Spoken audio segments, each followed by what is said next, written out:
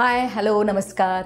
नेहमीप्रमाणेच मी नूतन जैन अल्ट्रा झकासमध्ये तुमचं सर्वांचं खूप खूप खूप स्वागत करते. आज आपण अशा एका व्यक्तीला भेटतोय चिराग पाटील. म्हणजे तो स्वयंभू आहे. आणि त्याची थोडीशी जर वेगळी ओळख जर करायची म्हणजे सांगायची झाली तर ती म्हणजे सुप्रसिद्ध क्रिकेटियर संदीप पाटील यांचा तो चिराग आहे. आय मीन त्यांचा तो मुलगा आहे. तर चला चिरागशी आपण मस्तपैकी गप्पा मारूया. त्याची एक नवीन फिल्म येते. दिल दोस्ती दिवानगी. तर चला तर चिरागशी आपण गप्पा मारूया. चिराग खूप खूप धन्यवाद. अल्ट्रा झकासमध्ये आम्ही सगळेजण तुझी खूप खूप खूप वाट बघत होतो. साडी you. आफ्टर ऑल तू आलेला. आहेस. आपण मस्त. गप्पा मारूया. या. तर आता मला सांग तुझा दिल दोस्ती दिवानगी मला वाटतं तेरा ऑक्टोबरला 13 रिलीज होतो. राईट त्याच्याबद्दल काय सांगशील? तिथे त्यात म्हणजे मला वाटतं की तुझा फार वेगळा लुक आहे. म्हणजे दाढी बिडी नाही आहे जरा यंग दिसतोय मी. नाही तू यंगच आहेस. नाही एक वेगळीच स्टोरी आहे. म्हणजे जास्त करून आपल्याला मराठी सिनेमामध्ये अशा स्टोरीज बघायला मिळत नाहीत. सो एक अटेम्प्ट आहे काहीतरी वेगळं दाखवायसाठी. आणि यंग जनरेशनसाठी बनवलेली फिल्म आहे. म्हणजे अवतीभोवती यंग जनरेशनच्या आहे. माझं कॅरेक्टरबद्दल सांगायचं झालं तर त्याच्यामध्ये पण खूप बऱ्याचशा वेगवेगळ्या शेड्स आहेत. सो मला ॲज अन ॲक्टर पण करायला खूप मजा आली. So in all in all आणि दुसरा म्हणजे सर्वात खास या फिल्मचा म्हणजे की आम्ही गोव्यात शूट केली फिल्म. अख्खी स्टार्ट टू एंड सो कधी असं वाटलंच नाही की शूटिंग करतोय. आणि आमची सगळ्यांची मैत्री पण अशी झालेली की असं वाटलेलं की पिकनिकच चालू आहे. पिकनिक माहोल येस आणि शूटिंग झालं की आम्ही ओपन जीप घेऊन अख्खं गोवावर फिरायचो. त्यामुळे खूप मजा आली. चिराग दिल दोस्ती दिवानगी. यामध्ये भरगच्च अशी अनुभवी स्टार कास्ट आहे. बरोबर? त्या सर्वांच्या बरोबर काम करताना तुला काय वेगळा अनुभव होता? काय शिकायला मिळालं? कसं वाटलं? नाही मी म्हणेन ग्रेटफुल की त्यांच्या सगळ्यांबरोबर काम करायचा चान्स मिळाला. एक तर सगळे एवढे फ्रेंडली आणि डाऊन टू अर्थ की आधी पहिलं एक कसं यु नो. नर्वसनेस होता की दडपण होतं की अरे कसं ह्यांच्याबरोबर ह्यांच्यासमोर उभं राहायचं आणि काम करायचं आणि त्यामुळे पण त्यांनी एवढं कम्फर्टेबल फील करवलं सगळ्यांनाच आम्हाला. आणि त्यांचे किस्से एवढे वर्षांचे आणि त्यांचा एक्सपिरियन्स ते शेअर करायचे इन बिटवीन शॉर्ट्स आणि ऑफकोर्स काही कुठे अडलं तर मी जाऊन त्यांना विचारायचो की ते मला एक ॲडवाईस द्यायचे. सो खूप शिकायला मिळालं. सो अगेन मी म्हणेन की खरंच म्हणजे नशीबवान आहे मी की त्यांच्याबरोबर काम करायला मिळालं सगळ्यांना. बरं. या चित्रपटाचा यू एस पी काय आहे? आय थिंक मी म्हणेन ह्याची स्टोरी ओ कारण जसं मी मगाशी बोललो एकदम एक आगळी वेगळी स्टोरी आहे. त्याच्यात ग्राफ पण त्याचा असा वरती खालती वरती खालती आहे. आणि एंडपर्यंत कळत नाही की काय ॲक्च्युली ओ. चाललंय. सो तुम्हाला ग्रिप करून ठेवते. सो. म्हणून मी म्हणेन की स्टोरी इज द युएस बरं. चिराग आता आपले चॉकलेट बॉय देवानंद त्यांचा आता शंभरावी आपण सेलिब्रेट करतोय. मग त्याच्या निमित्ताने तू काय सांगशील? खूप कमी जणांना माहिती आहे कदाचित तुम्हाला माहिती आहे की नाही माहीत नाही पण माझी पहिली फिल्म आणि त्यांची शेवटची फिल्म आम्ही. एकत्र केली चार्टशीट येस सो त्यांच्याबरोबर मला तीन वर्ष वेळ यु नो टाईम स्पेंड करता आला. कारण आम्ही जेव्हा शूट केली ती फिल्म त्याच्यानंतर काही यु नो एक दोन एक दीड वर्षांनी ती रिलीज झाली. पण मी तो क्षण कधीच विसरणार नाही जेव्हा मी त्यांना पहिल्यांदी बघितलं. हो. आणि पहिल्यांदी भेटलो त्यांना. त्यांनी मला जेव्हा बोलवलं. भेटायला आणि त्यांनी मला सांगितलं की मी तुला फिल्ममध्ये कास्ट करतोय. आणि मग त्या दिवसानंतर तो ती अख्खी जर्नी सुरू झाली. आम्ही महाबळेश्वरला जवळजवळ एक तीन महिने शूटिंग होतं आमचं. जॅकी श्रॉफ मी मिलिंद गुणाजी आम्ही सगळे एकत्र होतो. आणि काय बोलू मी? म्हणजे एवढ्या लेजंड बरोबर अं, उठणं बसणं जेवणं सगळे आणि आम्ही काय करायचो की त्यांची एक सवय होती की रात्रीचं डिनर झालं आमचं. आम्ही सगळे एकाच हॉटेलला राहायचो. शूटिंग नंतर डिनर झालं आमचं की ते एक फेरी मारायचे झोपायच्या आधी. बाहेर त्यांच्या रूमच्या सो मी एकतर त्यांच्या सगळ्या गाण्यांचा फॅन आहे. सो मी त्यांना नेहमी जाऊन विचारायचो की देवसाहेब हे गाणं कुठे तुम्ही शूट केलं? मग ते त्याचे फुल स्टोरी सांगत बसायचे. सो खूप शिकायला मिळालं. आणि त्या वयाला तो माणूस ती पॅशन आणि डेडिकेशन आणि ते हार्डवर्क जे करत होते ते. आणि मला माझी फर्स्ट फिल्म होती. त्यामुळे मला ते सगळं बघून खूपसं म्हणजे खूपच म्हणजे मला शिकायला मिळालं. एकतर आणि दुसरं म्हणजे एक काय म्हणतात ना एक आयडल मला मिळाला की यार लाईफ जर जगायचं तर असं जगायचं.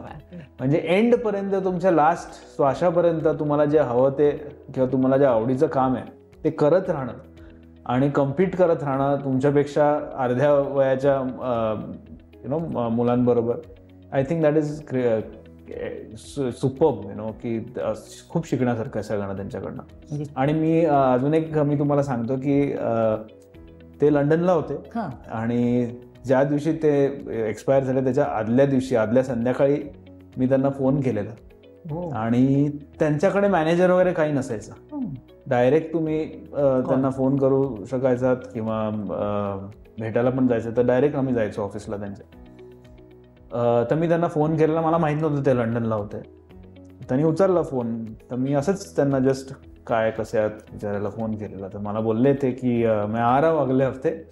और हरे रामा हरे कृष्णा पार्ट टू हम लोग शूट शुरू कर रहे हैं। और तुम्हें भी लूंगा। और मी बोलो अरे थँक्यू सो मच तर मला लास्ट त्यांची लाईन मला आठवते की छोडणार नाही अच्छा कर रहे हो. असं बोलून फोन ठेवून दिला.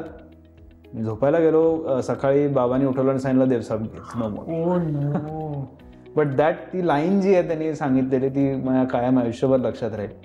की छोडणार नाही अच्छा कर रहे हो. क्या बात आहे. सो म्हणून अजूनही स्ट्रगल चालू आहे. येस तुला असं कधी नाही का वाटलं की पप्पांच्या पावलावर पाऊल ठेवावं? नाही मला ॲक्च्युली ऑनेस्टली तुम्हाला सांगतो मी मला कधीच क्रिकेटमध्ये फारसा इंटरेस्ट नव्हता.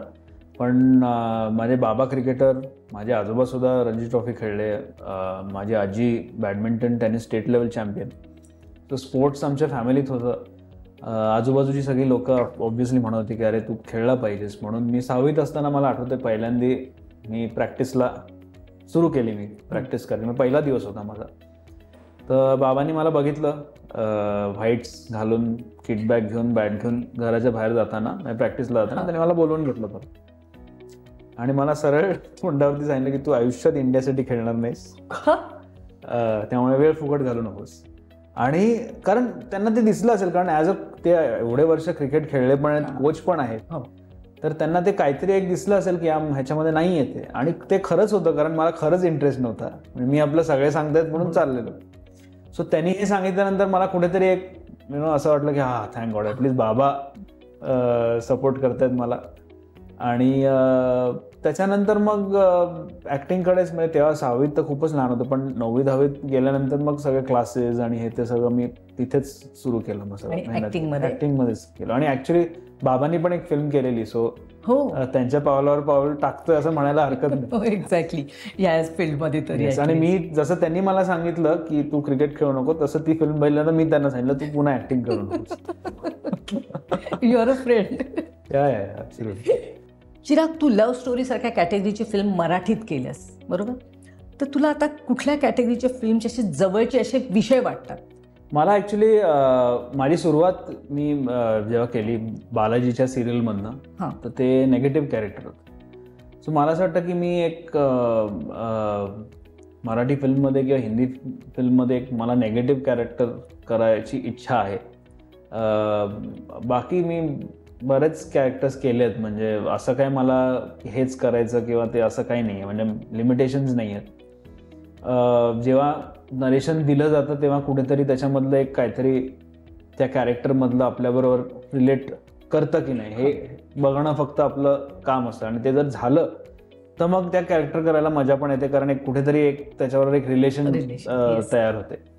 पण असं मी कधी लिमिटेशन ठेवलं नाही आहे किंवा की मला असं करायचंच आहे किंवा हे करायचंच आहे. सो असं काही. एक नेगेटिव्ह मला करायचं. बरं तू निगेटिव्ह कॅरेक्टर्स आवडतील. मला आवड आवडतील करायला आणि मला बरेच जण सांगतात की तू चांगला करशील किंवा करतोस. So I don't know okay पण ते कधी मोठ्या पडद्यावरती अजूनपर्यंत दिसलं नाही. बाबांकडून तुला म्हणजे संदीप सरांकडून तुला काय मिळतं? म्हणजे मार्गदर्शन त्यांच्याकडून अभिनयासाठी वगैरे बिझनेससाठी याच्यासाठी तुला काय त्यांच्याकडं बाबांकडनं मार्गदर्शन मिळतं?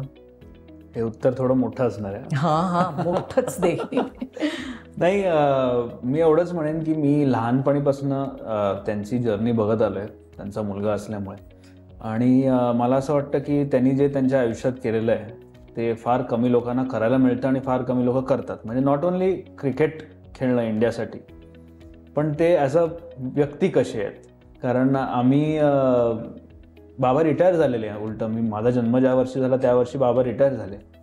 त्याच्यानंतरही बरेच वर्ष त्यांना मुलींचे रक्ताने लिहिलेले लेटर्स द्यायचे. अं, मुली दाराशी यायच्या लग्न आम्हाला करायचंय. हे माहिती असून की हो, मुलं हो, बाबा हो. बाबांची.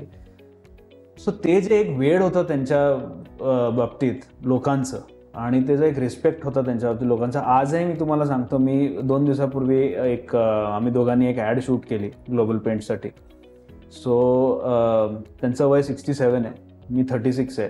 पण त्यांच्या ते जेव्हा सेटवरती आले तेव्हा सेटवरती आणि सेटच्या अवतीभोवती पण लोक जी गर्दी जमली आजही ते बघून मला असं वाटलं की आपण आजकाल सोशल मीडियामध्ये सारखे पोस्ट टाकत असतो. इंटरव्ह्यूज देत असतो कुठे इथे फुटेज मिळेल का तिकडे फुटेज मिळेल का हे सगळं बघत असतो. आणि ॲज अन ॲक्टर किंवा वडे सेलिब्रिटी आणि हा माणूस आहे कुठेच नाही आहे ना पार्टीला जातो ना सोशल मीडियावरती आहे ना इंटरव्ह्यू देत. पण तरीही आज तो प्रेझेन्स आहे तो ऑरा आहे आणि ती फॅन फॉलोईंग आहे. आणि माझ्या आईकडनं सुद्धा मी तुम्हाला सांगतो कारण बाबा टुरिंग करायचे. त्यांचे जे ते मॅचेस असायच्या किंवा टूर्स असायच्या त्यामुळे बाबा आम्ही मोठे होत असताना फार कमी घरी असायचे. फिरतीवरतीच असायचे कॉन्स्टंट आणि आईच आईनीच बेसिकली आम्हाला वाढवलं आहे मी जेव्हा ॲक्टिंग सुरुवात केली तेव्हा त्याच्यामध्ये पण आईचा सर्वात मोठा हात आहे. आणि तो आहे कारण जेव्हा पण माझ्या ॲक्टिंग क्लासेसना किंवा कुठे जायचं तर आई पहिली जायची. ती आधी सगळी चौकशी करायची. मग तेव्हा आम आमच्या घरी म्हणजे बाबांचं एक खूप स्ट्रिक्ट होते बाबा. सो असं गाडीनी जा वगैरे असं काही नव्हतं. आम्ही बसनी जायचो. हो. सो आई बसनी जाऊन तो रूट कुठला आहे वगैरे हे सगळं बघायची. मग मला सांगायची एक पहिल्या दिवशी माझ्याबरोबर यायची. सो तिचा पण खूप त्याच्यामध्ये एक इनपुट आहे. सो दोघांचंही मिळून मी म्हणतो की त्यांच्याकडनं दोघांकडनं शिकायलाच मिळालं. आणि मला असं वाटतं की असे आई वडील सगळ्यांनाच मिळावे. जे तुम तुम्हाला जे काय करायचं त्याचं फ्रीडम पण देतील. पण at the same time grounded पण ठेवतील तुम्हाला. चिराग तू ॲक्टिंग करतोयस तू बिझनेसमॅन आहेस. पण असं तुला वाटतं की एखादी एखादं डिरेक्शन एखादं प्रोड्युसर असं सुद्धा तू काही करावं? ॲज अ प्रोड्युसर मला वाटतं मी मला फायनल मला तिकडे पोचायचं आहे कधी ना कधीतरी. मला प्रोड्युसर डेफिनेटली बनायचं हां. इनफॅक्ट मी पहिल्यापासून माझं स्वप्न होतं की एक प्रोडक्शन हाऊस पाहिजे स्वतःचं. आणि माझा लहान भाऊ पण डिरेक्टर आहे. म्हणजे तो आता असिस्ट करतोय सध्या.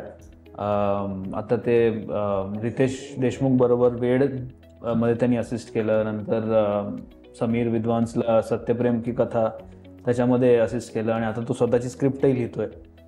सो मी होप करतोय की तो लवकरच त्याची फिल्म बनवतो मला कास्ट करतो. अरे वा. सो मग मला काम शोधायची गरज नाही आहे. घरीच डिरेक्टर असल्यामुळे.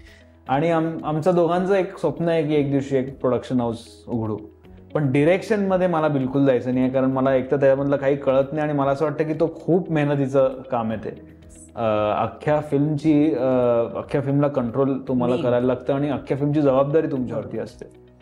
सो डिरेक्शन मला वाटत नाही मी कधी करीन. आवडही नाही आहे मला डिरेक्शनची आता कळू दे की तुझे अपकमिंग प्रोजेक्ट काय आहेत? अपकमिंग दिलदोस्ती दिवानगी आहे आणि अजून एक अ, माझी फिल्म आहे जी कदाचित यावर्षी रिलीज होईल किंवा नेक्स्ट इयर रिलीज होईल. ती रेडी आहे ऑलमोस्ट एडिटिंग टेबलवरती आहे आत्ता. मराठीच आहे. अ, त्याच्या व्यतिरिक्त मी नवीन अजून एक ग्लोबल पेंट्स म्हणून पेंट्सची कंपनी आहे. त्यांच्याबरोबर माझं असोसिएशन झालेलं आहे. त्यांनी मला ब्रँड अँबॅसेडर म्हणून घेतलेलं आहे. सो त्यांच्याबरोबर काही ॲड्स फोटोशूट्स आणि ते सगळं चालू आहे. पण फिल्म मी अजून नवीन साईन केली नाही आहे कारण मला जो आता जो आत्ता मला जी स्क्रिप्ट करायची ती माझ्यापर्यंत आली नाही आहे अजून. किंवा तो रोल अजूनपर्यंत माझ्याकडे आला नाही लिहायला घेतली आहे निगेटिव्ह रोलसाठी आत्ता ताबडतोब. सो जशी येईल तशी लवकरात लवकर मी डेफिनेटली करीनच. बरं आता एक महत्त्वाचा एक छोटासा आपण एक टास्क खेळायचा आहे. तो मला असं वाटतं तुला नक्कीच आवडेल. हो हो. Rapid fire. तुझ्या पर्सनॅलिटीमधील एक पैलू किंवा गुण तो तुला एक छान जेंटलमॅन बनवतो. आय थिंक मोठ्यांबद्दल आदर आणि रिस्पेक्ट आय थिंक तोच एक महत्त्वपूर्ण गुण अं, आहे माझ्या तसं मला वाटतं आणि सगळ्यांमध्ये असावा असंही मला वाटतं. समजा जर कलाक्षेत्रामध्ये तू पदार्पण केलं नसतंस तर काय झालं असतंस? मी मेकॅनिक झालो असतो कारण मला गाड्यांचा एवढा शॉक आहे आणि एवढी आवड आहे. म्हणजे माझ्या मी नेहमी म्हणतो की माझ्या लाईफमध्ये तीन पॅशन्स आहेत. एक तर म्युझिक ॲक्टिंग पहिलं म्युझिक आणि गाड्या. हा. मी डेफिनेटली मेकॅनिक झालो असतो माझ्या मते बरं. तुझी हॉबीज काय? मी कीबोर्ड वाजवतो. सो ते एक आहे. जसं मी सांगितलं मला गाड्यांची आवड आहे सो मला ड्राईव्हना जायला आवडतं. कधी कधी मी सकाळी किंवा कधीही दिवसात जर कंटाळा आला किंवा जावं असं वाटलं तर मी गाडी घेऊन निघतो. अं, बरेचदा असं झालेलं आहे की मी लोणावळ्याला पोचलो फरियाज तिथे एक आहे तर हा, तिकडे कॉफी पितोय. बायकोचा फोन अरे कुठे आहेस? म्हणलं अरे मी लोणावळ्याला कॉफी पितोय मी येतोय. म्हणलं अरे लोणावळ्याला काय करतोय कॉफी प्यायला. कॉफी प्यायला. सो असं बरेचदा झालेलं आहे. सो पण या सगळ्या गोष्टी करायला वेळ कमी मिळतो आजकाल. अं, पण जेव्हा पण वेळ मिळतो मी करत असतो काय ना काहीतरी. तर हे हॉबी आहे ड्रायव्हिंग. येस चिराग मनोरंजन विश्वातील तुझा अत्यंत आनंदाचा क्षण कोणता होता? मी मला जेव्हा कळलं की मला एटी थ्रीमध्ये बाबांची भूमिका करायची आहे. हा. सो तेव्हा आय थिंक मला असं वाटलं की हिस्ट्रीमध्ये आय डोंट नो फार कमी लोकांनी किंवा नाहीच केलं आहे कोणी स्वतःच्या वडिलांचा रोल एका फिल्ममध्ये सो ते जेव्हा मला कळलं की करायचं त्यामुळे आय थिंक तो मोमेंट प्राइसलेस होता. चिराग मला एक सांग की आपल्या क्षेत्रामध्ये असे पाय घट्ट रोवून ठेवण्यासाठी कुठल्या क्वालिटी गरजेच्या आहेत? मला असं वाटतं पहिलं म्हणजे ह्युमिलिटी तुम्ही जर चांगले ॲज अ पर्सन चांगले नसाल तर मला वाटत नाही या इंडस्ट्रीमध्ये तुमच्यासाठी जागा असेल कुठेतरी. इनफॅक्ट मी तर मानतो की तुम्ही ॲक्टर उन्नीस बीस असाल तरी चालेल. पण ॲज अ पर्सन तुम्ही चांगले असायला पाहिजे. ते मला वाटतं सर्वात मुख्य आणि मोठी गोष्ट आहे. या जी पाहिजे एका ॲक्टरमध्ये किंवा कोणीही जे या इंडस्ट्रीमध्ये येत आहे त्याच्यामध्ये. कारण ह्या इंडस्ट्री एवढी फिकल आहे ना की सडनली एक दिवशी तुम्हाला पीक दाखवते दुसऱ्या दिवशी खाली पडते. सो ते एक बॅलन्स ठेवायला ह्युमिलिटी असणं फार गरजेचं. चिराग मला सांग की तुझा आवडता अभिनेता कोण? दोन आहेत. हां. अमिताभ बच्चन पहिला. हो. कारण त्यांचं ॲज अन ॲक्टर तर सगळ्यांनाच ते आवडतात आणि मलाही माझा माझे फेवरेट आर्टिस्ट आहेत ते.